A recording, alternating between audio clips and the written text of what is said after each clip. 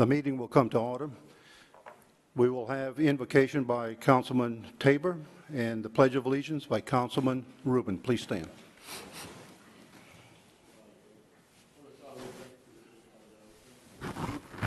Blessings, Father God, on us. Father God, we ask that you bless this meeting.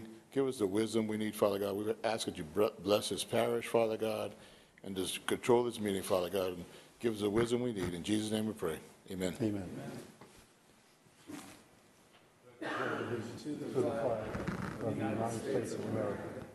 And to the republic for which it stands, one nation, under God, indivisible, with liberty and justice for all. Thank you, Councilman. As presiding officer and chair, I would like to make the following announcements. This is a public hearing to address the council on any item on this agenda. Please fill out the speaker form to submit your information to the clerk prior to the call of the agenda item. Again, prior to the call of the agenda item, or you will not be given the opportunity to speak.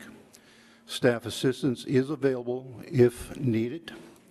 Items for submission to the council should be handed over to Council Clerk Ms. Veronica Williams, seated to my left. When addressing the council, state your name and title for the official record. The three-minute rule will be in effect. Again, the three-minute rule is in effect. Please, no debating or confrontational statements will be allowed. The front row to my left is for media only. Food and drinks are not allowed in the auditorium. At this time, I ask that you please silence all phones and electronic devices. Meeting procedures are by resolution and not Robert's Rules of Order. All documents with reference to meetings can be found on the LCG website. And finally, the council encourages your invo- involvement in boards or commissions. If interested, please call 291-8800. Couple of chair announcements. Due to the Mardi Gras holiday, the council meetings for February and March have been scheduled on the second and fourth Tuesdays of each month instead of the first and third Tuesdays. Meetings will return to their typical schedule in April. Item number 13, board appointment, emergency medical services. This item will be deferred to allow additional time for the local area mayors to consult on an appointee. I'd like to wish a happy birthday to our Civil Service Director, Mr. Adam Markentel, which he celebrates on March 15th. One final announcement. Notice is hereby given that at its meeting to be held on Tuesday, April 20th, 2021, at 4:30 PM at the Council Auditorium, 705 West University, Lafayette, Louisiana, the Lafayette Parish Council plans to consider adopting a resolution ordering and calling an election to be held in the parish of Lafayette, state of Louisiana, to authorize the renewal of ad valorem taxes therein. Chair has no further announcements. Any uh, council members have any announcements they would like to make? I, I, I do have another one. Uh, We do have a council member, Mr. A.B. Rubin, who is serving, uh, celebrating 30 years of marriage to a wonderful lady, and uh, certainly we want to congratulate him.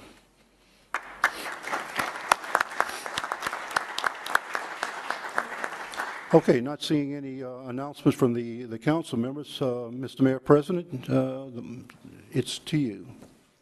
Hold on, let me get the, get it over to you. Okay, go ahead.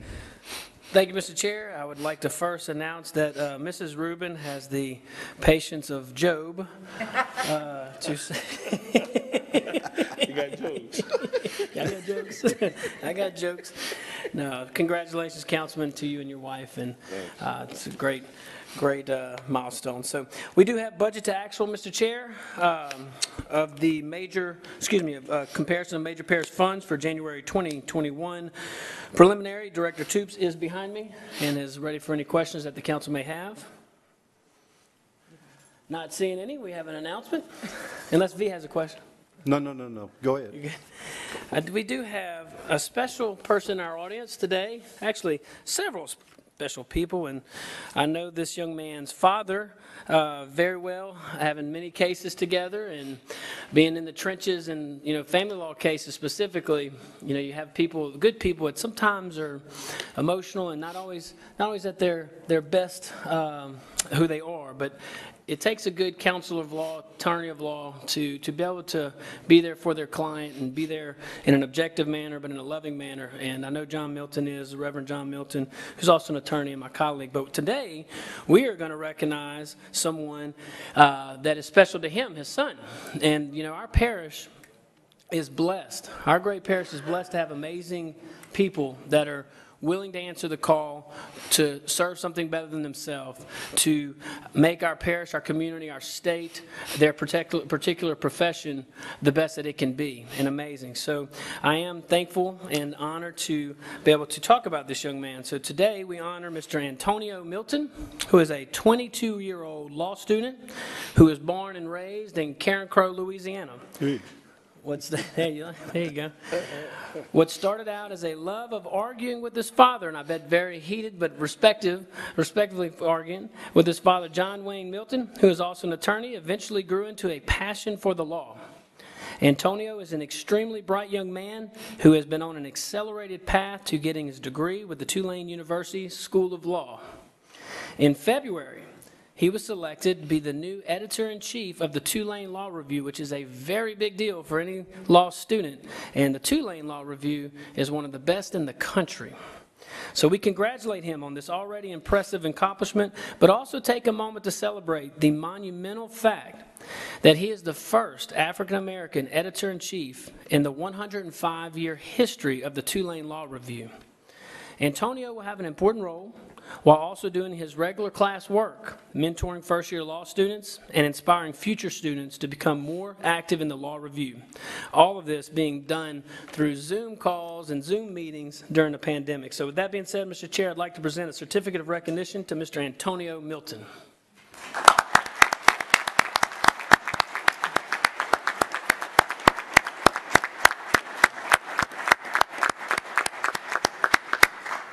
Like to say some words? Put you on the spot, huh?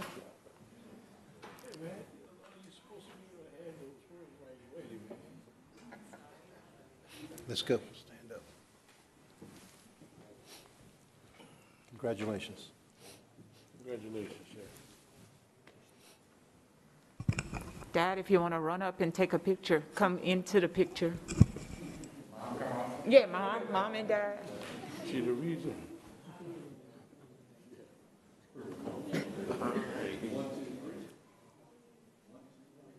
Okay, wait.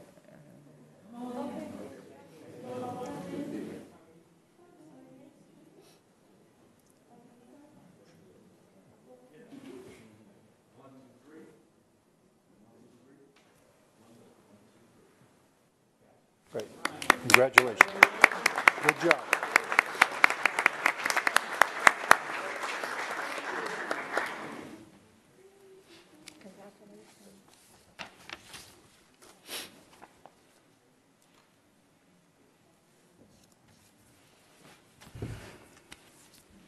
That is all we have for the executive report, Mr. Chair.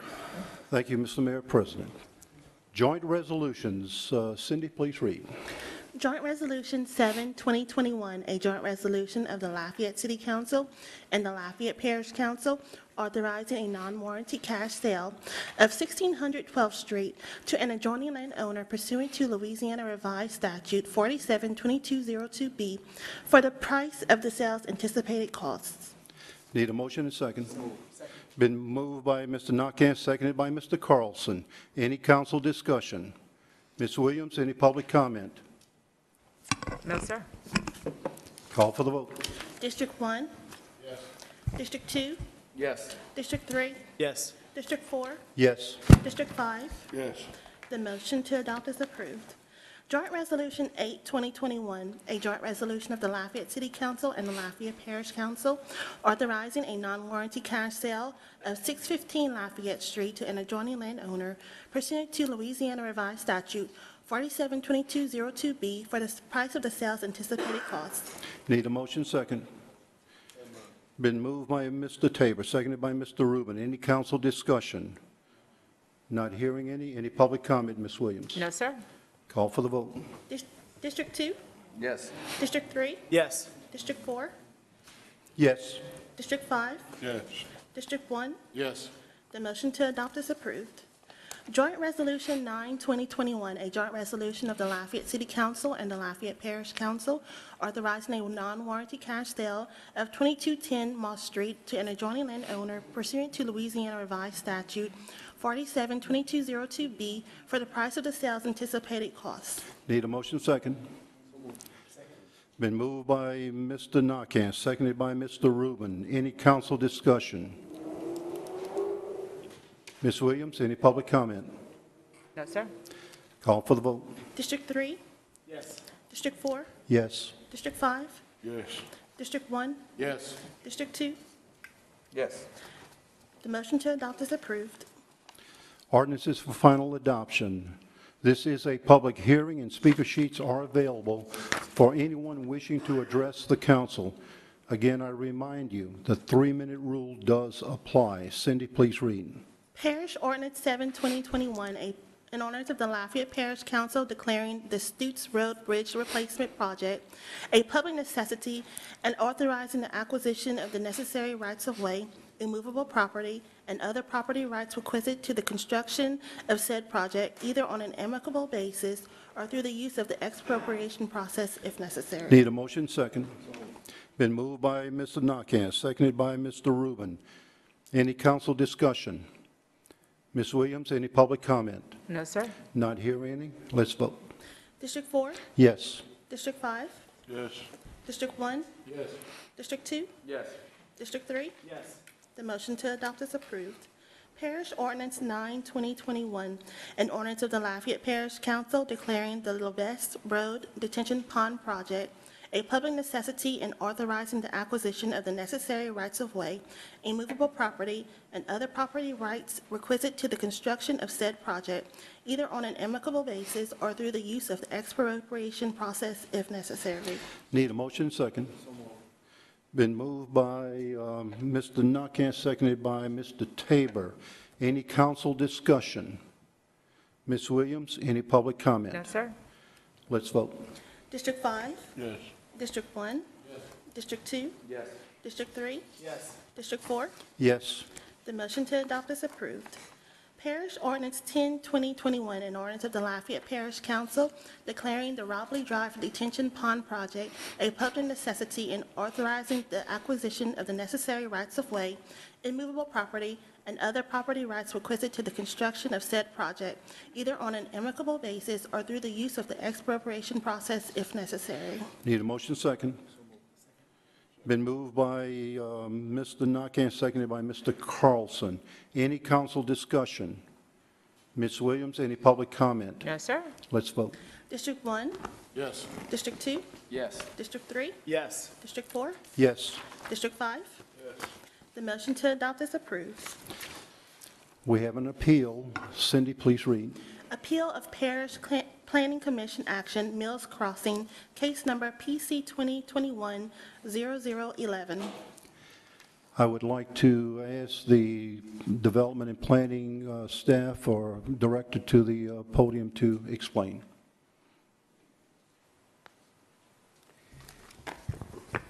Good evening, council. I'm uh, Neil LaBeouf, the Development Manager uh, in Planning and Development. Uh, A little overview. Uh, Do I have the laptop on? Awesome. You're doing fine. All right, great. You may move, remove your mask while you're at the mic.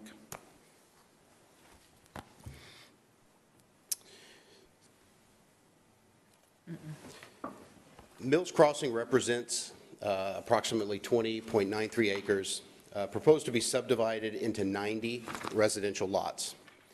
Um, The proposed development is located in the unincorporated parish um, adjacent to Mill Street, Vatican, and Pope Drive. The proposed subdivision was first evaluated in the Area-Wide Development Review Committee on January 20th. Uh, Comments returned from ADRC uh, included a requirement for a drainage impact analysis. The proposed subdivision was then heard for preliminary platting at the Parish Planning Commission meeting on February 8th. Uh, Mr. Ricks, the development representative, provided an overview of the Mills Crossing development and the project's drainage features, Bayou Carencro, and three related laterals, as well as the designated flood zones. Mr. Ricks stated a drainage impact study will be provided for this development. Jessica Cornet, uh, Public Works engineer, spoke to the flooding issues in the area and requested the Planning Commission consider adding the requirement of a flood study as a condition of preliminary platting. Commissioners further questioned Ms. Cornet about potential results of the flood and drainage impact studies, and if said studies indicated flooding would be worsened by Mills Crossing, would it be allowed to proceed to development? Uh, To which Ms. Cornet stated no. Additionally, Ms. Cornet indicated nearby channels and laterals to the Mills Crossing development are on the list to be cleaned, uh, but did not have a specific time frame. There were 10 speakers who voiced opposition to the proposed development, one speaker in support, and two comment cards that did not indicate a position. The Parish Planning Commission did approve Mills Crossing for a preliminary plat with all conditions and added a flood study as an additional requirement. The developer did not ask for or receive any waivers of conditions. An appeal was filed on February 12th by Mr. Chris Mesh, reasoning the proposed subdivision is in an area that is prone to continuous flooding and poor drainage. It is important to note that preliminary plat does not in any way allow construction of the pro- proposed subdivision as presented. And that's what, uh, that's the report. Okay. Thanks, um, Neil. Um, Council members, any questions for Mr. Neil?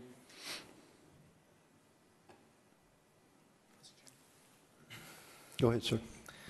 Uh, Mr. LaBeouf, isn't it my, so it's my understanding that per the Lafayette Development Code, less water is going to be leaving the property, uh, putting in layman's terms, because that's all I, I, I understand.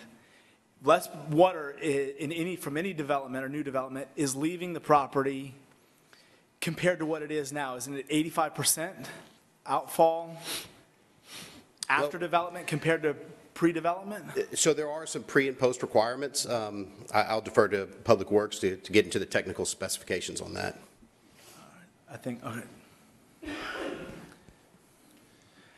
Let- Let let me do this. Let's hold on council uh, questions, comments for now, if you don't do mind. Sure. And and what I'd like to do is give the appellant an opportunity to speak to us, so we'll have all the information before us, and then we can call you up individually and ask the questions. So let's get the whole body of, inf- so does the appellant wish to address the the council?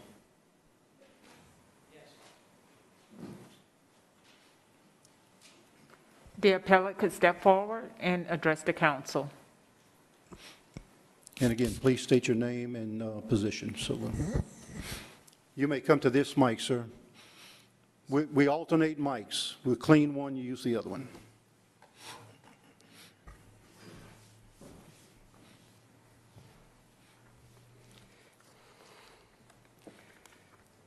Um, My You- name is You may remove your mask also, so we can better, better hear you.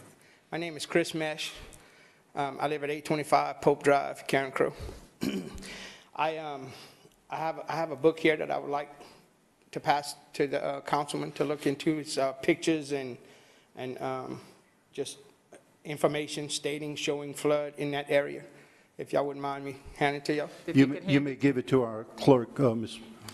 Williams. Thank you.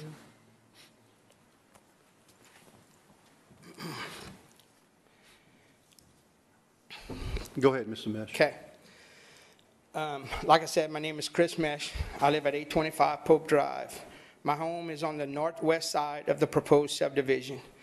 I'm here tonight representing myself and 217 other concerned citizens that signed a petition opposing the development Mills Crossing. The flooding continues to worsen as years go by. The surrounding areas around the proposed subdivision, such as Mills, Vatican, Pope, Benoit, Oak Spring subdivision, Frenchman Trail subdivision, just to name a few, continues to be a burden with the rising waters flooding in places that never had high water in the past. Not only do we get rising waters during the periods of heavy rains, we continue to get rising floodwaters long after the rains are over. Due to the poor drainage and the undersized bayou, which is supposed to drain us out during these conditions.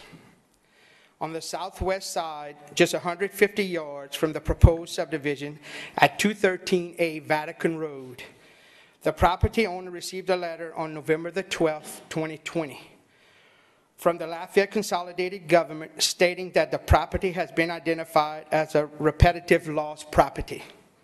The flood map shows this home is also not in a flood zone, as the said property being developed, but has flooded multiple times. We feel, with the few reasons that I've stated and the emails and testimonies of the other concerned residents around the Mills Crossing development, are above and beyond proven facts that this subdivision should be denied. Thank you. Thank you, thank you, sir. Okay, I'll, I'll go back to uh, council members. Well, actually, we're, we're up for uh, council discussion, Right. so we're, we're on stage. Ms. Carney, I, I think there was a question that was asked earlier, if you would like to come up to the mic and address it for us.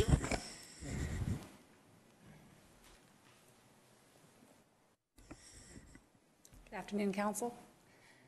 Yes, uh, Mr. Carlson, uh, you are correct. Whenever we have major, de- is this not on? Oh,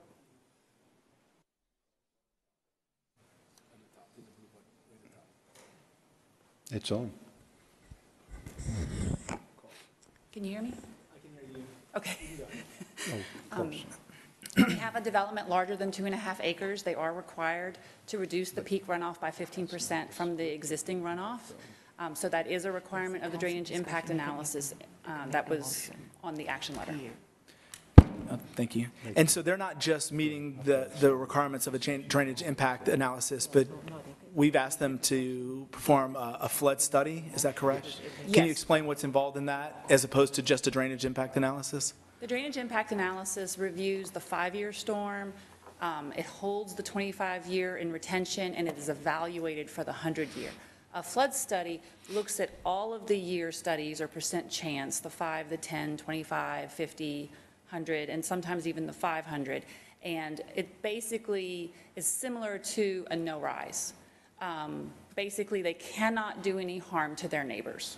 Um, So that's it in layman's terms. Okay, is it your uh, opinion that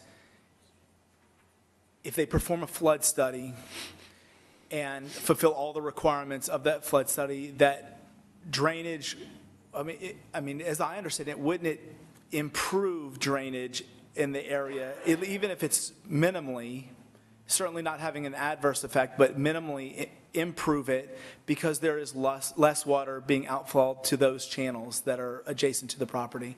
Yes, occasionally, we have seen some minimal improvements, um, but basis of it is to have no adverse impact to the neighbors and the surrounding properties.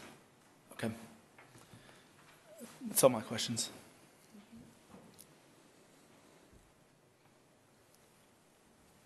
Mr. Tabor? I don't have any questions. I just want to comment. This is in my district, you, you sound, Jessica, thank you. Thanks.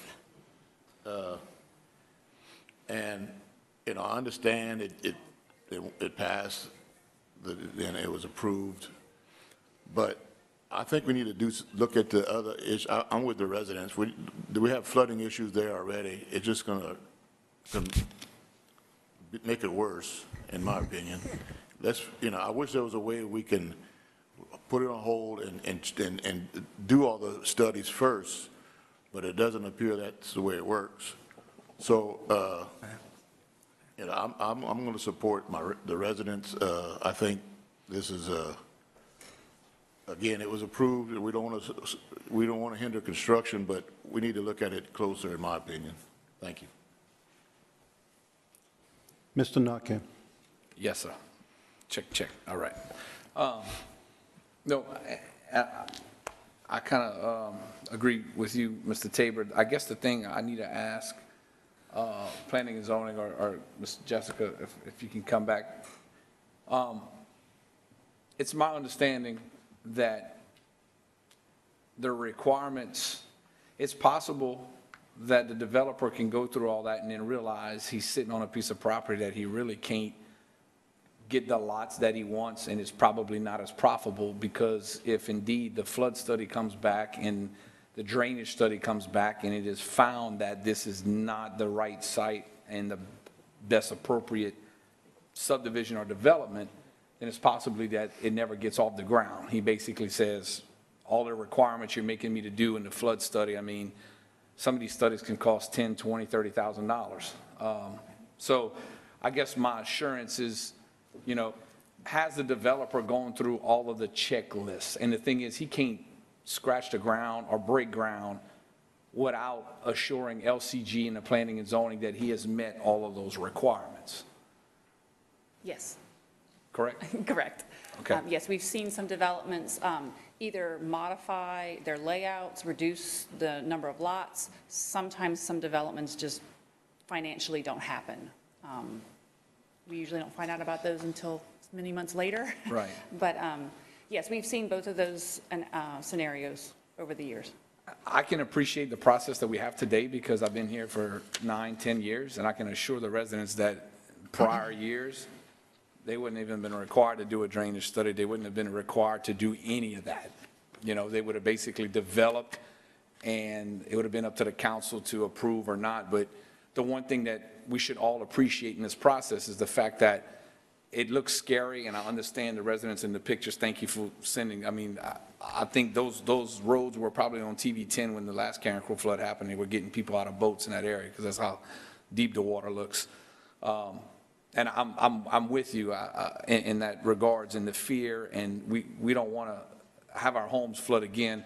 I guess the reassurance I can tell you is that we do have a process now that doesn't just automatically, someone buys the land, puts up a plat in front of the planning commission, and all of a sudden just starts building houses. I mean, uh, according to what he went through and all of the checklists, I mean, he's did everything that he's supposed to do, uh, but that still doesn't guarantee that the project's going to exist for the simple fact that he has to meet all of these other requirements in the study.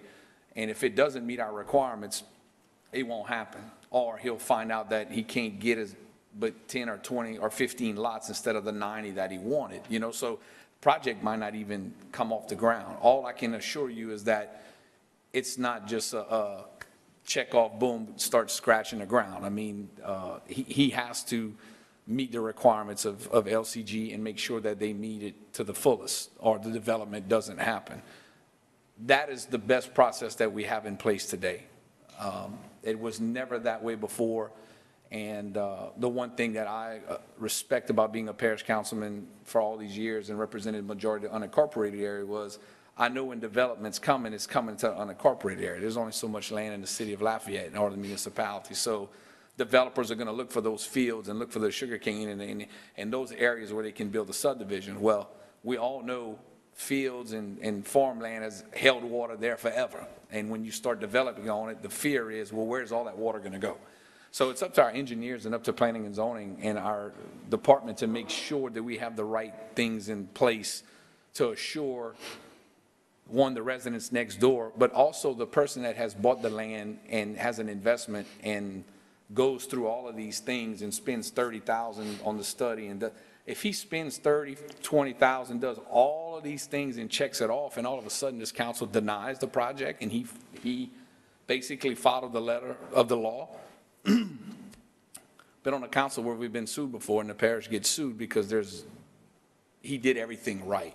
And I guess what I'm saying is if the shoe was on the other foot and we was the developer, we would want to make sure we're protecting the citizens and the investment. And if neither one works, then we have to walk away from the project and it just, it just stays empty, you know? Um, So I just want to make sure I'm clear and that the residents are clear that if it were to pass, doesn't mean the project goes on.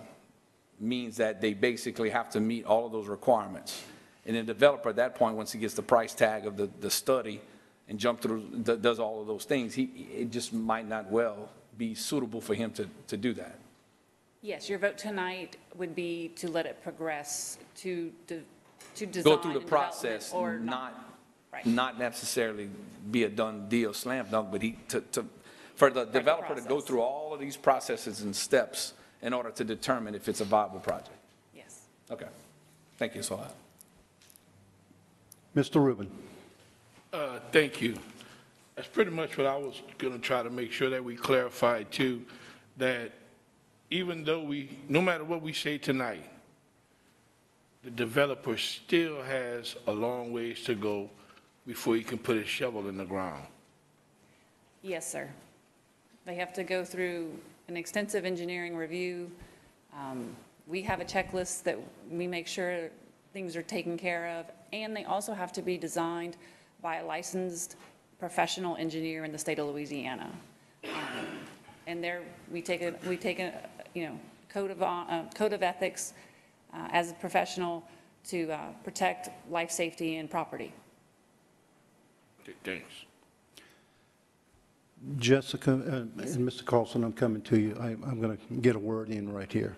Um, There are 22 conditions, and there are eight plat uh, revisions, total of 30. All 30 must be met before we can put the shovel into the ground.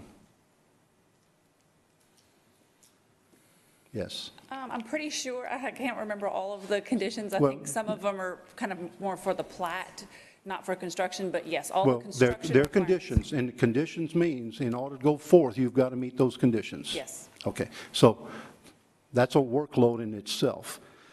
We are talking about at least five, maybe more of those conditions that deals with drain impact studies, analysis, whatever it might be.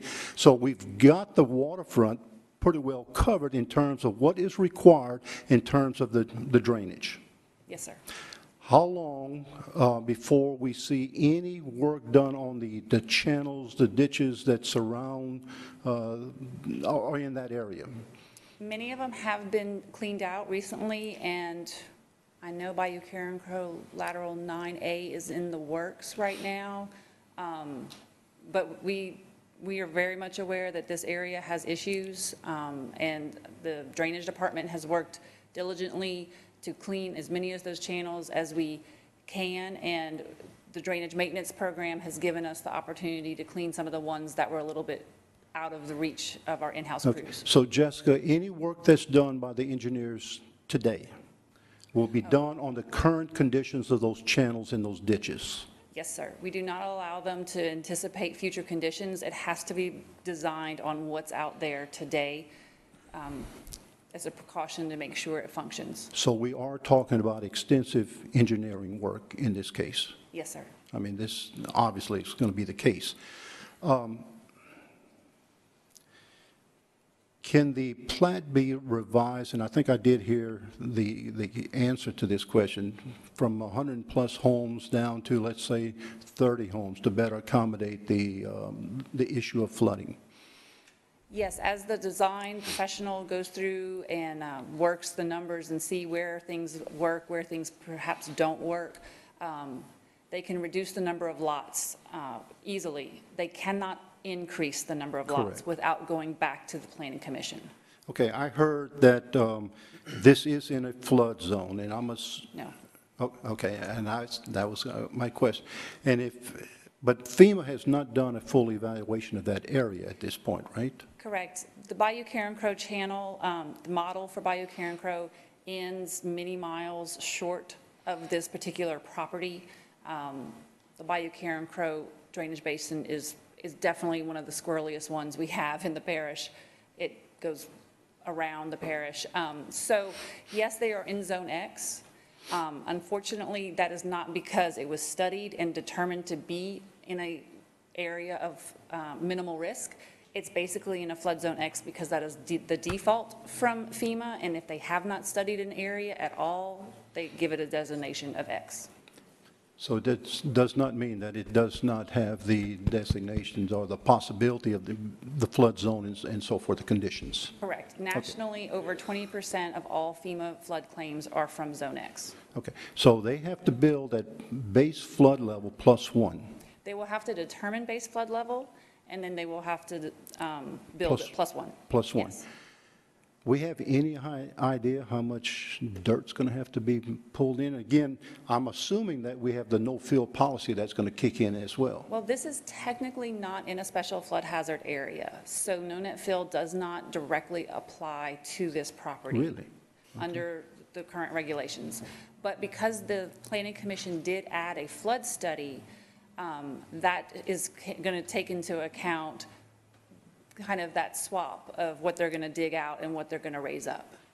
It's going to, it's, it's going to be hydraulically proven instead of just geometrically But proven. Jessica, certainly we're not going to let them start hauling in a whole lot of dirt to build up the pads and all, are we? Are we going to put them on stilts? Possibly, we, we would love a few more. So I uh, get to fish off the back porch? Okay. Yeah. Um, In the study, whenever they design it, they will have to determine what elevation is safe for the new homes. Obviously, we don't want to build a new subdivision where people have issues with their homes, but we also don't want to exacerbate an existing problem with anyone who lives around a development. Um, So, yes, they will probably, you know, we turtle back all of our lots generally. You want your house to be higher than the road. Um, So there will be some, they're going to have to dig down for the retention requirements, the drainage system, and all of that.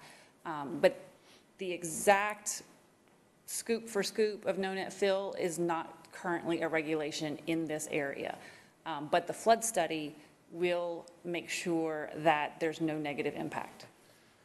But the, the the flood study would indicate in terms of how much backfill they can put, I would, I would think, huh? Yes, it would, yes, it would have to be, it, it will be a design that basically says this elevation for five acres, this elevation for three Yes. acres, and this elevation for however many. So all of these studies that we're going to do cannot put one drop more of water off that property onto the neighbors. Yes, sir. Okay, that's, in theory, that's, that's what we're talking about. Okay. Mr. Carlson, Thank you, Mr. Chair. Um, I- I'd like to make a motion that we deny the appeal.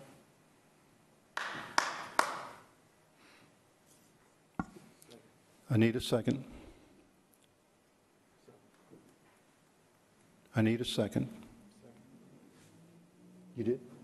Oh, okay, it's been moved by Mr. Carlson, seconded by Na- Mr. Naquin, that we deny the appeal. Ms. Williams, any public comment? Yes, sir, we do have Well, public comment. Excuse me, before I get to it, uh, the mayor president has a comment. Thank you, Mr. Chair. Very briefly, you know, I do, and I'm wait till the, to the vote, but, uh, or I'll defer to the vote, but I do want to tell the residents, especially the gentleman that came up to, to talk and obtain the 217 signatures you mentioned, you know, that takes a lot of dedication and, and commitment to not only your home, but your neighborhood. So please know that that does not go unnoticed. Um, From what I'm hearing, and Councilman Naquin, I think did a really good job of explaining the, the, the process, because a lot of this is, is new, not only in the LDC, but in our former UDC too, had some drainage impact uh, requirements. If the council upholds the, the planning commission's um, decision, I, I- really hope that y'all hone in on what Councilman Naquin said, that this is, there's so many more steps that have to be taken before development actually occurs. And it, it may come up, it may come to a point where they reduce the lots to such a degree that it's not developable or, or not profitable to develop. Um, But drainage, I, I will say, Jessica, you know, you do a great job, Neil, and all you guys in Public Works. We are all committed to preventing flooding in the homes and the buildings. And I, and I, and I'm, I think you sense the passion that Jessica brought to the microphone. She brings, it's 20 times the amount when we, when we have these meetings. So we don't take this lightly at all. So, but without you coming to the council, without you obtaining those signatures, we wouldn't have this dialogue. So it's, it's very appreciative. I know the council appreciates it, and I know the administration appreciates it. So, so thank you for doing that. No, Excuse me. Okay, thank you, Mr. Mayor President. Mr. Naquin? If there's anything that we should learn from this is when the upcoming budget comes in, and obviously it's not in my district, but with the photos that they put out there, I strongly suggest improving that intersection in that area with some major capital improvements within the drainage, regardless if this development happens, because what I just saw in that photo book and the, the time the gentleman took, obviously, if anything's gonna go there in the future, I'd like to see the money go in Mr. Tabor's district and take care of that area because they deserve it, you know, regardless. And in not, in a lot, there's not a lot of times that we're able to do that, but with this parish council, the way we have each other's back, obviously, the residents are coming to us out of fear. And if it doesn't go their way tonight, and I say go their way, it's not about, it, it's gotta be one way or the other, but even though they know they gotta go through the guidelines, there's still gonna be some fear and some, and some reaction that they're scared. But I think the right thing to do is regardless of how this goes tonight, is that that area gets attention for capital projects and for, for drainage projects, you know? And, uh, so I, I, I want, to share that, you know, when you ask the council members what's on our bucket list, Mr. Tabor, I, I suggest, as your friend, uh, you take care of those residents and make sure they get some capital improvements in that area. Uh, So the photos are great, and that's the kind of things that the council needs to see, administration needs to see. Because you can clean ditches and all that, that sounds all good, but if, if we're not analyzing the pipes and how much water's coming into that area, then we're not doing you guys justice. So I would like to see some, some capital improvements in that area. Thank you. Thank you, Mr. Naquin. Mr. Mayor President? Thank you, Mr. Chair. Thank you, Mr. Naquin. Also, um, I just want to piggyback off that. This area and, and those pictures are heart wrenching. It's, it's more than, than, than we could even describe. And again, we don't take it lightly. That area from the flood, what, five, 10 years ago to even rainstorms that, that hit a certain area under certain conditions, that, for whatever reason, there's a lot of water that just pours in that particular area. We are looking at it. Um, I am glad to hear the commitment on, on capital, uh, projects geared towards that particular area. Um, and I know, Mr. Tabor, we, we've, we've spoken about this even before your appeal, so, uh, your councilman is working hard for you, and I, I I think you know that, though, so, but, um, yes, it would come with the full support of the administration, I'll tell you that. Good. Thank you, sir. Thank you. All right, we'll turn to public comments if we have some cards. Ms. Williams? We did have two citizens who signed in, did not wish to speak in opposition to the appeal. Um, We had six citizens who emailed the council office, and, and I think it's in opposition to the project, to the drainage. So, uh, so two did not wish to speak in opposition, six emailed the council in opposition. We do have six speakers signed in, the first of which is Kevin Savant, and he will be followed by Karen Savant. And Karen- again, our- our- yes, either one. Either one. And I'll remind you of the uh, three-minute rule, and you may remove your mask to speak. And if Karen could come up too, so she could start right after Mr. Savant. Go Good ahead, sir. afternoon, or good evening. Uh, Hopefully, you received some of my emails that I sent to you, and what I'm going to say to Mr. Carson, Mr. Naquin, and Mayor President, what's unique about this area, it, it, it's flat. It doesn't drain. We don't flood because it rains a lot. We flood because the rainwater does not drain. Mr. Ricks, who's the, the developer's engineer, and Ms. Cornet can attest to this. The drainage in this area is poor at best. It doesn't start flowing until it gets past Vatican Park, which is like in the 900 block, well west of this, and that's the issue. Uh, Oak Springs and French Trail subdivision, there's no doubt about it. The Uniform Development Code, y'all have done some great work in, in instituting new conditions for development since those two, but there's no better example than those two subdivisions in this area. Those two subdivisions are less than a half mile from this proposed development. The drainage will not be improved. Ms. Cornet even said in the, the other board meeting that we'd have to dredge it and take 50 feet of property on those three laterals that go into the Bayou Carencro that meet one that gets the water out of there. That's not gonna happen. You, you can clean the ditches as much as you want, but the problem is it doesn't flow. This is a unique area. Mr. Mr. Ricks even stated this, there's 2,500 acres east of this and, and in the near vicinity of this that's just flat. It doesn't flow. We flood because it back floods. The water is stagnant and it just keeps going into the ditches. The ditches and canals can't handle it and it just starts backing up and backing up. To Mr. Carson's point, what I would like to know is, sure, the development is gonna take care of all the rainwater that's coming off the roofs and the slabs, but what, what's gonna happen when, when the rest of the surrounding water starts encroaching on this development? Where's it gonna go? How is it gonna handle this? It doesn't handle it now. Um, I'm in opposition to it, and I, I would hope that you would overturn or disapprove the, the, the board's preliminary plat approval.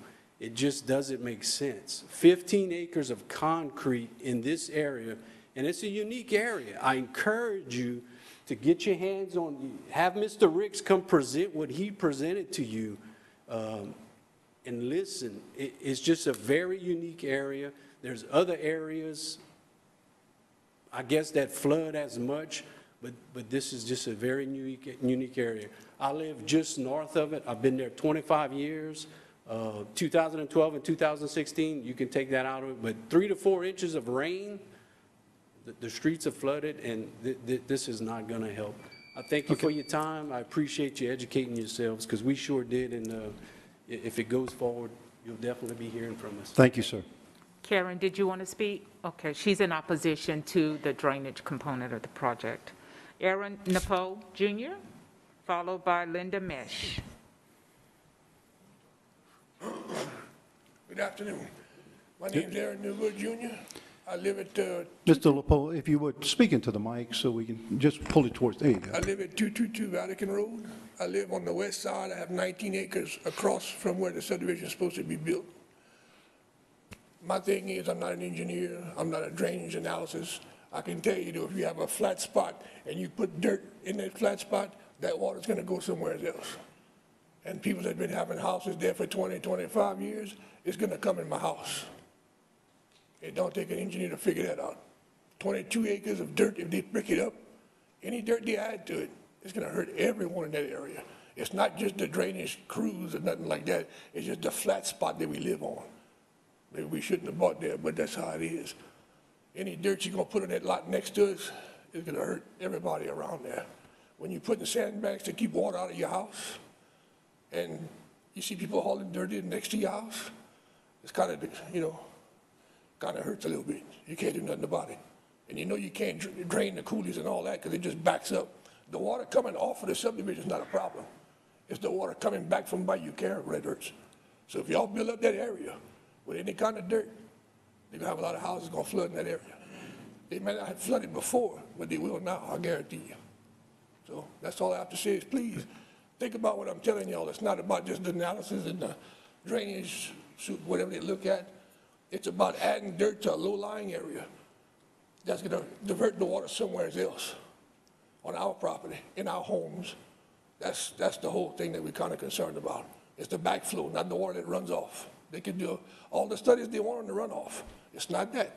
It's the backflow that's gonna hurt. Any of the dirt that's hauled in over there. Thank y'all for your time. man. Thank you, sir. Linda Mesh, followed by Al Roger. Okay. Um, I've been living in my house at 825 Pope Drive. Most of the pictures are by homes. I built my house 17 inches higher in 1999 than standard requirements. You're talking about building mills up higher, Mills Crossing?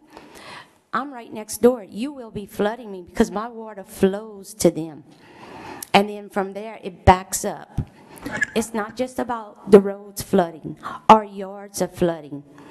And then uh, me, um, Pope Drive, when they just redid it about eight years ago, they had like the dirt, they were having problems, and they put like this concrete thing in, and our road is already higher.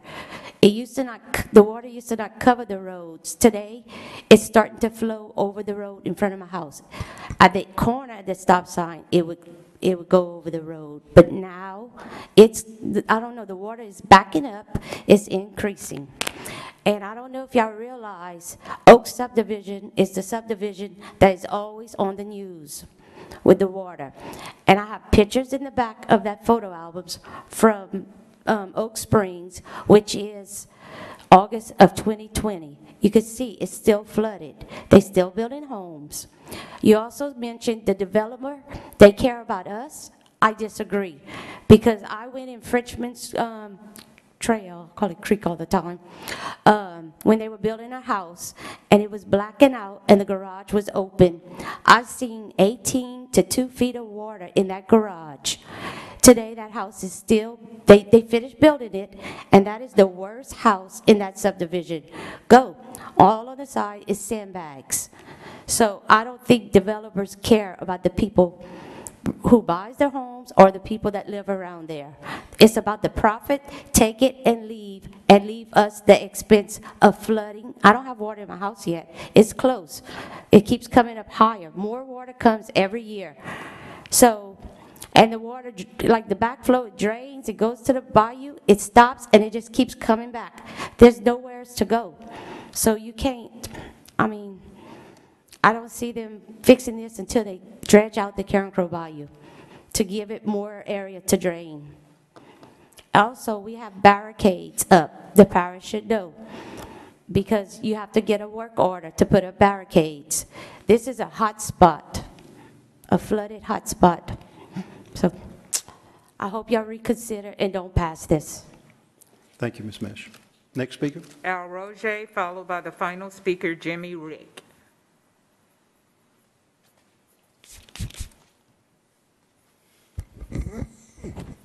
How y'all doing, Council? Fine, sir. Um, My main concern right now is, I just hope this governing body doesn't do the same mistake they did for Oak Springs. I went in there and tried to explain them what was gonna happen, and they well told me I didn't know what I was talking about. We worked that property years ago. We had, we ran cattle on that property. Reason we got out of that back property was because it would flood. They told me that, I think the city engineer was Mr. Larry Broussard at the time. He told me it was gonna take 17 inches of rain to flood that. That's false information. You get four inches of rain and they're out. You know, these people in Oak Springs, they don't get to finish repairing the damage that's done from one flood when another one comes in. I live at 133 Dillon. I used to never have water coming up on our road. It's coming up there. And to uh, Mayor uh, Guillory's thing, a lot of the water problem is, I'm gonna tell you what it is. They came and they dredged, not dredged, they dug it from Mills all the way to Dillon. This was to satisfy the people, make the people in Oak Springs think they were doing something. What they did right here is made a retention pond from Dillon, uh, Mills to Dillon. Because what happens, the water leaves Dillon, coming to Mills, it comes quick. It's coming from this way. When it gets there, it's backing up, back to Oak Springs, and then it's heading up Mills. I run cattle about, I guess, uh, on the corner of Benoit and, and Vatican Road. I run cattle there. And I was in 17 in the water up to here. And it's not if it's gonna happen again, it will happen. And these houses, these people are gonna get, get burnt. And I wouldn't want the council to make, if I'd have been a council member in that, in time on the city, uh, planning zoning committee, I'd feel bad because I gave them the right to do this and said it wasn't. And you know, actually, it's not said we're in a flood zone, but we actually are in a flood zone right here. It's, I don't care how you look at it. And a lot of it is the drainage, but you can't go in the middle of a, a pasture, give you an example, in the middle of a pasture, dig here, and not open this side and that side. Where the water's gonna come, it's gonna come right back. And Mill Street is actually a canal now when it rains. I was born and raised in that area, and we ran cattle on that property all the time. The road would flood, that I grant. But now, you get two inches of rain, the property has water on. This, this, this subdivision will be in a bind. And it's, it's not that I'm against the subdivision, it's just, I see what happened to the people in Oak Springs. And this is exactly what's gonna happen again right here. I thank y'all and hopefully y'all can Thank you, sir. Final speaker, Jimmy Rick.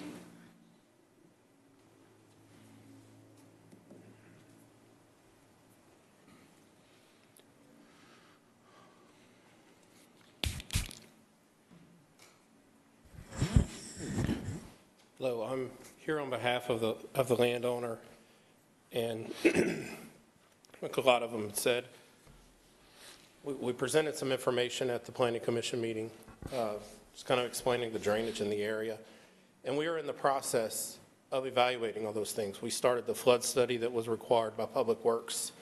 Uh, Initial flood study indicated to me that it was pretty clear maybe 90 lots would not be feasible, so the so the owners ask us to evaluate what's afforded him in the, in the ordinance to reduce and see what, what is feasible. So we had some legwork done trying to evaluate some drainage problems in the area. So we were able to utilize that information to, to begin the flood study. And we have an inundation map prepared. So with that inundation map, we're able to evaluate the field, what you were, you were questioning Jessica about. Uh, One of the speakers worried about building up fill here. We're going to have to create that, that storage void. Uh, It's obvious it's going to take more than the 20% that was originally allocated for the property, which means a significant reduction in lots if it is able to be developed. The owner just asked that he be able to continue to do what's afforded him in the ordinance and go through the process. Have any other questions, technical questions for? Thank you, Jimmy. Okay. No other speakers, Mr. Chair. No Chair. other speakers? Coming your way, sir. Go ahead, Chair- Mr. Mayor President. Mr. Chair, briefly, briefly, if I could ask Mr. Ricks one or two questions that might help the council. While you're walking up, I'll, I'll ask Mr. Ricks. So you, you represent the, the owner of the property, correct? Yes. Okay, so if it goes to the process, the council um, finds that the LDC would require uh, to not grant the appeal, the owner or the developer continues to go through the process, they make a decision, it's not worth developing. Um, I would ask that you talk to the, to the owner as I discuss capital projects with the council, and we maybe come back together, because if, if that property is prone to help these, these folks with drainage, because that's what I'm hearing loud and clear, I'm hearing the support of a council for capital projects to help it. This may be an area where we could have some synergy and help people, um, but, you know, I know you're not in a position to answer that right now. Well, so- it, it, it's obvious it's an area that needs help. Uh, we- We, we weren't running for that. We faced that and, and in my position, we're trying to present science and facts and try to be independent of the emotion and the feeling. And seeing all the pictures, our science does back up what some of the pictures show. The flood water is higher than the FEMA maps show it to be. Um, So as they've stated, the water drains from over by Pelican Park some three, four miles away, and two, three, four hours after a rain event, it's still meandering through all of that portion of area, Carencro, and it gets here, and Bayou Carencro is not draining, so it essentially acts as a dam. So as the water comes in and it can't go out, it builds up. So it needs some, some collection basins for, for floodwaters to store. So we've done some initial looks at that just to see what can be done, and, and I think they can have, they, there are some ideas that could help in that area, and, and and I'm glad both Mr. Naquin and Mr. Tabor brought that up. I just ask that you have those discussions with the, the owner of the property. I'll continue to talk to our council and, and hear from, hear from the public and see if we can find some ways to help these folks. So thank you. Yes, sir, thank you. Thank you. Thank you. Any other discussion from the council members? At this time, I'd like to ask Mr. Escott to clarify our motion and what the vote would mean. Mr. Escott? Yes, sir, Mr. Chairman. The, the motion on the floor is a motion to deny the appeal, which means that if uh, you vote yes to that motion, it approves the Planning Commission's decision of granting preliminary plat approval, and the project would go forward. If you vote no, then it, uh, it would depend on what the vote is, but yes vote allows the development to go forward. Thank you, sir. Any uh, questions from the The council? process, Right. Any questions from the council members? In terms of what Mr. Escott just said, we understand. Mr. Naquin? Just to be clear, the process, not the project going forward. Right. Right? All right. Okay. Mr. Rubin? And I'm pretty much where, you- where Mr. Naquin's at right now as well. This is my first time voting on something as so, and I'm feeling the residents. I'm also feeling the, uh, the developers. And I know we have issues about trust, trust issues. But I give the benefit of the doubt on the first go-round. So we're going to hopefully trust that the process is done properly and we do right by the people, no matter how the vote goes on tonight. So I just wanted to share that with everyone, my, uh, my opinion on that one. Thank you. Thank you, Mr. Rubin. Any other comments from the council? Call for the vote. District 2, Yes. District 3, Yes. District 4, Yes. District 5, Yes. District 1. No. The motion to deny the appeal is approved. Announcement of vacancies on boards, commissions. Cindy, please read. A vacancy exists on the Lafayette Waterworks District South Board as of April 1st, 2021. This is a one-year term. Applicants must be district residents. Individuals wishing to submit a resume for the above volunteer vacancies must be a registered voter and a resident of Lafayette Parish.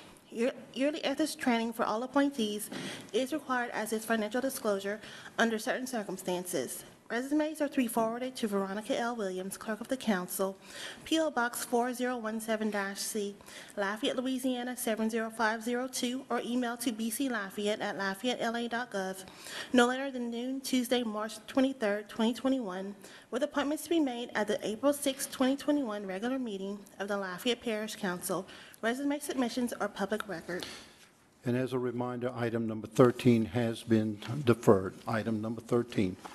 Consider appointments by the council as a whole to boards, commissions. Cindy, please read. Appointment to the Lafayette Civil Service Board for a four-year term effective February 1st, 2020. This nomination is listed, this nomination, nomination list provided by Ashram in lieu of Louisiana State University. I need uh, nominations. Mr. Tabor. I nominate Zyler. Zyler has been nominated. Any other nominations from the council? Any other nominations? Did, did you announce the nominees? No, I did not, and I will do that at this point. Thank you. Julie Broussard, Kylie Pungy, mm-hmm. Mashita Givens, Andrea Abear, and James Zyler are the candidates. My apology. All right, so we have James Zyler that has been nominated. Any other nominations? Any other nominations? Any other nominations? Council discussion on Mr. James Zyler? Not hearing any. Ms. Williams, public comment? Yes, sir. Call for the vote. District 3? James Zyler. District 4? James Zyler. District 5? District 1? District 2? Yes. James Zyler is appointed. Joint introductory ordinance. Cindy, please read. Joint Ordinance 12, 2021, a joint ordinance of the Lafayette City Council and the Lafayette Parish Council declaring the Homewood Drive Detention Pond Project a public necessity and authorizing the acquisition of the necessary rights-of-way, immovable property, and other property rights requisite to the construction of said project, either on an amicable basis or through the use of the expropriation process if necessary. I need comments from the public concerning the above introductory ordinance. Ms. Williams? I'm going by the notes that have been handed to me. Is that correct, Ms. Williams? Am Uh, I- yeah, ask for a motion in a second. I need a motion and second. Motion by Mr. Naquin. Seconded by Mr. Rubin. All right, we have a motion and second. Council discussion. Any council discussion? Ms. Williams, public comment. Yes, sir, we do have five speakers signed in for this item, the first of which is Wayne Colvin, and he will be followed by Ed Abel Jr. Well, Wayne not all. Colvin is first. Yeah, you can stay here, Mr. uh, Abel. You can, Mr. Abel, you, you may stay, stand at this mic if you want. And you may lower your mask when you're, you're speaking to us, so we can hear you. Good afternoon, Wayne Colvin, 105 Woodward Drive, Lafayette. I live in Riverwood subdivision.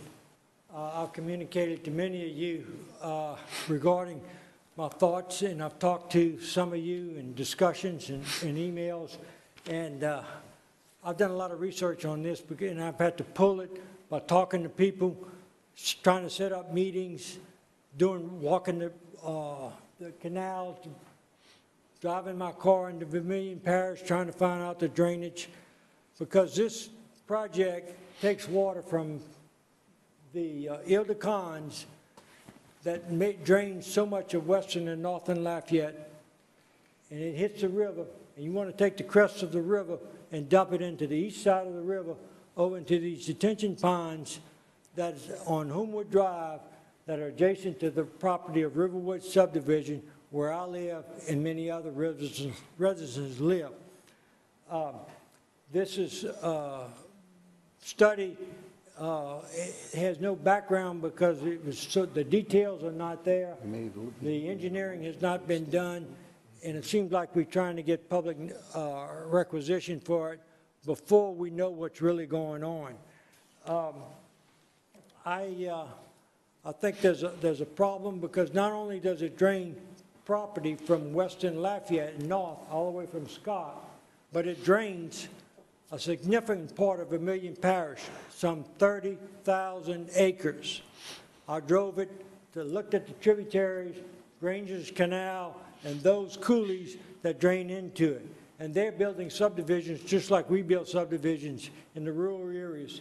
You go down Johnson Street, cross over the bridge at Maurice, and right down the left, you see a large subdivision going in. There's some on both sides of 92. We're dumping the water on the east side of the river. There's no model that it, we've ever experienced that says take water from one side of the river and dump it on the other.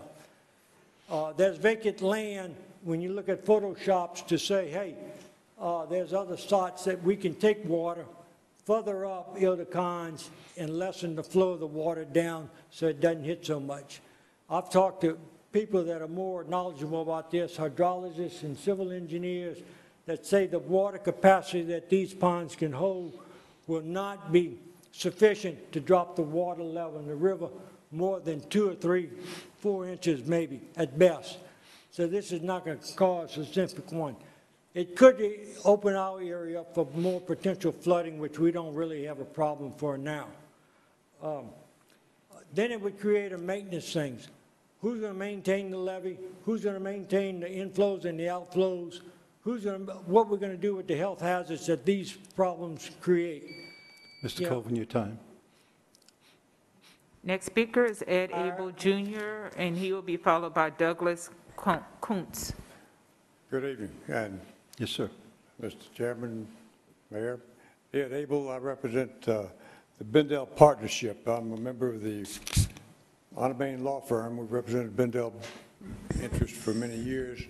And uh, Bendel Partnership owns uh, 370 acres, which are apparently identified as the property at interest here to use for uh, flooding relief. Ms. uh, Lisa Rostat is here from Houston, uh, representing the Bendel Partnership. We're not opposed to the operation. We need to know a lot more information than we've seen so far, but I want to assure the council that we are uh, available here in Lafayette, ready to sit and talk, and we need to see the plats, how much property you need, and how much you're willing to pay for it. So th- those are the matters of interest to us, and we will, we- we're here when you're ready to talk, and uh, so call us, and thank you. Thank you, Mr. Abel. You told me you could do it within three minutes, and you sure did. Good job. Douglas- Next speaker. Douglas Coons, uh, followed by Bob Hammock.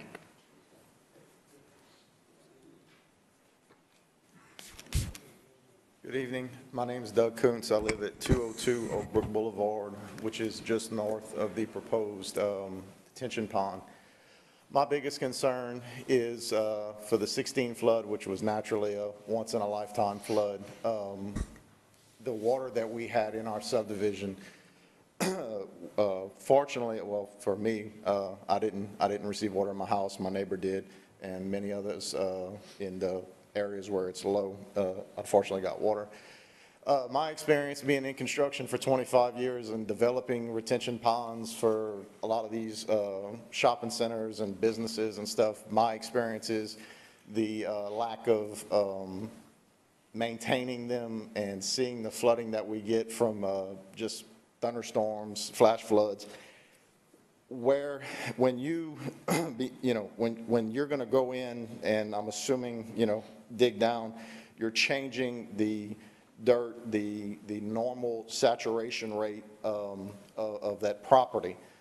So as of now, with the rain that we get, and since 2016, uh, the city has, and the Lafayette Consolidated Government, the parish part, has cleaned some canals that are, that are, that are, that drain our subdivision, and it, and it has helped, but on the adverse side of that, uh, we get 20, 30-minute hard rain showers, and we have rivers in our roads that, you know, I've lived there for five years. The first uh, year and a half almost uh, that I lived there had zero issues. And the 16 flood happened, and it's like it just, I don't know if it plugged up culverts, plugged up uh, catch basins, um, but it just seems like now we can't even handle the, a 30-minute shower without pulling your hair out because the water comes up almost to your front doorstep.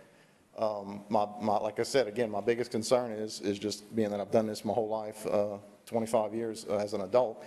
Um, I, I, just don't have the faith, uh, with no disrespect, I have no faith in the, in the parish's ability to maintain these ponds because most people don't know this, but uh, uh, Kaliste Saloom has been lowered almost four to five foot to be used as a retention pond to not flood the neighborhoods. From 2016, from all, you know, from the water they had, they saw that, well, we can use this to get water out of neighborhoods and on the streets, and I think it's a great idea. Not many people know that. Same thing they did to Verot School Road. They dropped it. A lot of people don't know Ambassador Caffery. That's why it floods all the time. When it was built, it was built at- at- to be used as a retention pond. Um, So uh, I just don't see the point, uh, for what Mr. Wayne was saying. You bringing all this water from the east, uh, west side to the east side, it makes absolutely no sense. I have offices on the river in both Abbeville and Lafayette, and when we flood, Abbeville doesn't flood, so. Thank you, sir. The the drainage, it just, it doesn't make any sense. This doesn't make any sense. Appreciate the comments. Bob Hammock, followed by the final speaker, Harold Schoeffler.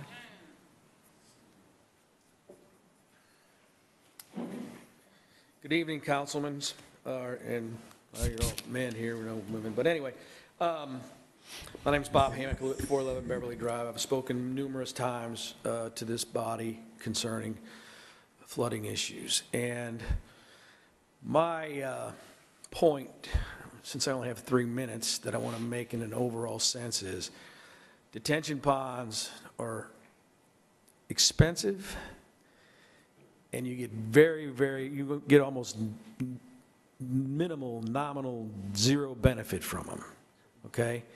We have natural features in the Teche Vermilion watershed that are large detention areas. Two of them are, the two biggest ones are Lake Fausse Pointe and Cypress Island Swamp. Lake Fausse Pointe, when the, when the Corps of Engineers built the western wall of the levee for the uh, Atchafalaya Basin, they purposefully left Lake Fausse Pointe on the west side of it to allow that to be used for drainage and retention. Cypress Island Swamp is 100,000 acres of land. It's now blocked off because when they dredged the river in the 1950s, they created spoil banks. And they, uh, uh, the, when the water flows north, it can't get into Cypress Island quickly enough. You would open up 100,000 ac- acre feet of retention in Cypress Island Swamp if you would just knock down those spoil banks. Could probably be done for less than a million dollars, okay? You, now, here we have this Homewood project, you want to spend $35 million on 2,500 acre feet, or, yeah, 2,500 acre feet of detention and at a cost of $14,000 an acre. If you did an apples-to-apples comparison of Cypress Island Swamp in terms of the amount, uh, of 100,000 acres at $14,000 an acre, it'd be $1.4 billion. So if you want to try to dig your way out of this problem, rather than use the natural retention that's already there and is- is a beautiful, elegant, simple economic solution, you can go ahead and spend $1.4 billion. But as a taxpayer, as a citizen, I'm vehemently opposed to such a totally irresponsible and wasteful use of public money. Um, That's all I want to say. Thank you, thank you, Mr. Hammond. Final speaker, Harold Schoeffler.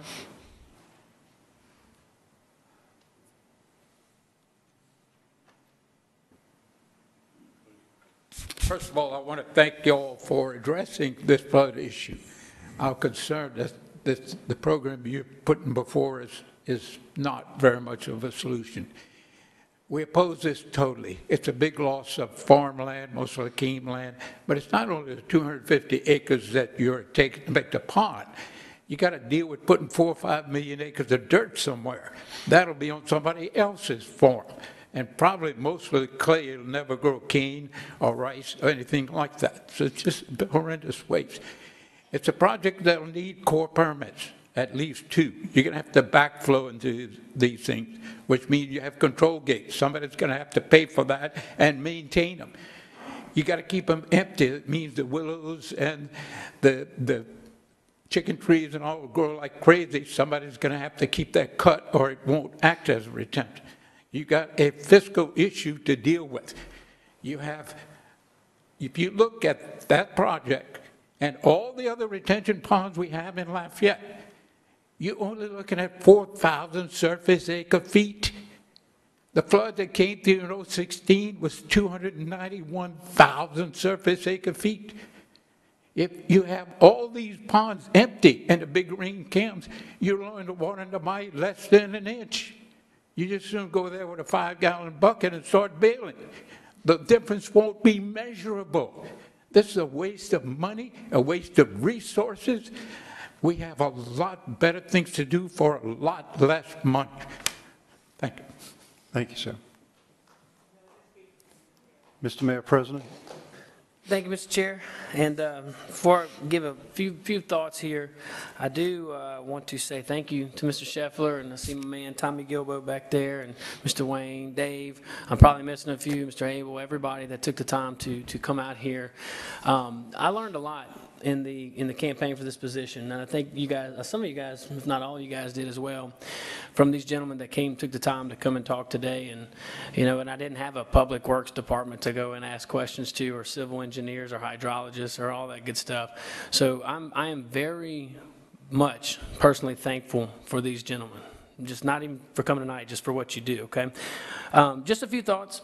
Cypress Island, um, could not agree with you more. The only, there's a couple issues there that we are working through, and it's heavily on our radar. The, my, my other friend here, you're, you're absolutely correct. That is, if you're going to do detention in this parish, or in this region, I cannot think of a bigger pond that would, or bigger, bigger project that would help us in, in lowering the water levels in the Teche Vermilion watershed. You are absolutely spot on. And it is as simple as removing the spoil banks, okay? So we are working on the design, but we do have a partner in that because a lot of that water would go into St. Martin Parish.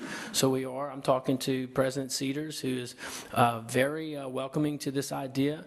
Uh, He's talking to his parish council, our Public Works Department, uh, Mr. Naveau's in the audience right now. They've already communicated with St. Martin's uh, Public Works Director and their department. Uh, And not only would it benefit Lafayette and the Teche Vermilion watershed and all that good stuff, there's some other engineering that can happen in the swamp that would actually help St. Martin Parish as well. So it's a, it's a really a lot of synergy, so cannot support this project enough. So that's to the northern part of our parish. As far as Homewood, to the southern part of our parish, this is one of many possible projects. And this particular step is one step of a of, of many that could be required or will be required. Uh, the gentleman mentioned the Corps of Engineers.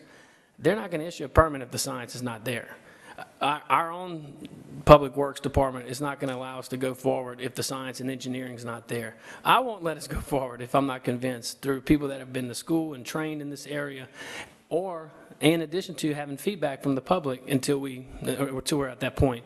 So on that note, um, this is on intro. This is a necessity ordinance only. It's one of many, many steps that would have to be, that would have to occur. And we don't even know if this project could be uh, bedded out to, to be a solution, but it's worth looking into. And I, and I think you guys, if I know the spirit of Dredge Vermillion, there's no harm in looking into this. Uh, Lastly, and uh, I hope I don't steal your thunder, Councilman, but the council, Councilman Carlson, who represents this area, is doing a fantastic job. Uh, We've been working with the residents, so this Tuesday night, we'll have a town hall in that area. And, and- and anybody that's attending, I don't want you to feel pressured that you have to get all the questions answered, because we may not have all the answers that night. So hopefully, it's one of many that we do to further the dialogue, to further the discussion, but it can't hurt to look into this, and it may help. And we can't look into it further without the necessity ordinance. So I appreciate the council's consideration. Thank you, Mr. Mayor. Any further discussion from the council? Ms. Williams, uh, call for the vote? Yes, sir. District 4, Yes. District 5? Yes. District 1? Yes. District 2? Yes. District 3? Yes. The motion to introduce is approved. Okay, thanks. I was just advised by our, our attorney that, uh, again, according to our rules, um, we, we meet for an hour and a half, and it looks like we're going to exceed the one and a half hours. So I will need a motion to surpass that by 30 minutes. I'll entertain a motion. Been moved by Mr. Naquin, seconded by um, Mr. Tabor, that we extend our meeting by 30 minutes. All in favor signify by saying aye. Any opposition? Not hearing any, so ordered. At this time, we'll turn to uh, comments from the public. Uh, And again, this is a time period when you can speak to any item that is not or was not on the agenda for this evening. Anything but what's on the agenda. So, Ms. Williams, um, Again, I'll remind you that there is a three-minute uh, rule. Uh, No debating or confrontational statements or personal attacks will be allowed. Um, We do have others uh, that will want to speak, so again, I I reiterate the three-minute rule. Um, Ms. Williams, we have any speakers? Yes, sir, we do. We have two speakers, the first of which is Sharon Glover, and she will be followed by Loomis St. Julian.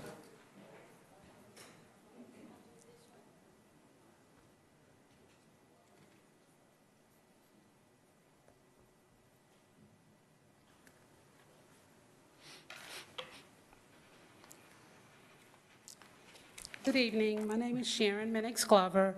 Uh, I reside at 100 Blossom Circle in Carencro, Tenacan. Um First, I want to say thanks to um, Mr. Joseph Gordon Wiltz, who's been very patient with me since October of, uh, September of 20. I've been calling him about the address of 2901 West Gloria Switch. I just sent some pictures around. It's a sore eye. We started to see uh, rodents. Uh, There's a young man bought a house there about three and a half years ago. We've attempted to talk to him. Now there's probably about seven or eight cars. There's riding lawnmowers um, with trees falling on top. Um, Environmental control and developmental planning have come out. Those cases have been closed.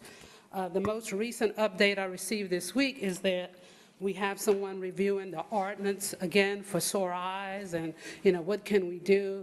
And I totally get that and I understand everything takes time when we have someone new in place. But there again, I've been living there 25 years. I have a home there. There's people, elderly people who have been there longer and they're afraid of the rodents. They're afraid that it may be some possible drug activity. They're getting very concerned. It's on the main street of Gloria Switch. Um, we, we've tried talking to the young man. I actually tried to talk to him on yesterday. Uh, I was going to try to resolve it, you know, as part of the community. Basically, he said, you know, this is my property, I'm not starting a business, and I do what I want. So I just don't know where we can go with this. I appreciate any support with urgency. I've been very patient since October, um, you know, to try and get some help, but appreciate anything. You know, Sergeant St. Julia here has been very helpful. He's tried to also speak to the young man. There's a lot of elderly people who wanted to come because they're walking with walkers now. Of course, they could not come out this evening. I've left some messages also for you, Mr. Naquin, to see how you can help us in this. It's like, he's saying it's not a business, but it's, it's getting pretty bad. If you look at the pictures by, I went out of town on Saturday. By the time I came back, there was three or four more trailers and cars that were backed up against my fence. Uh, and he sees nothing wrong with it. I mean, I could, I could spend two grand and put a fence, but it's not going to stop the rodents. My neighbor shared with me this morning while I was out for a walk. He said, I saw two field rats coming across the street. Um, Like I said, they've come out, sheriff departments have been out there, I think they suspect something, but they're also now starting to sit, they pulled a storage shed against the- my fence, they're sitting in there, and there's some kind of conjugation going on there. I don't know what it is, I don't know if it's, it's, you know, platonic, if it's neutral conversation, I don't know if he's just a hoarder. I can't tell you anything about the young man, but it's concerning and alarming, being in a community for so long, to see your property just depreciate. So I thank you all for your time, and hopefully that we can take some action, look at the cases that have been closed already, and hopefully you can help us. Thank you. Thank you. Pictures. Good evening, council. My name is Loomis St. Julian. I am a retired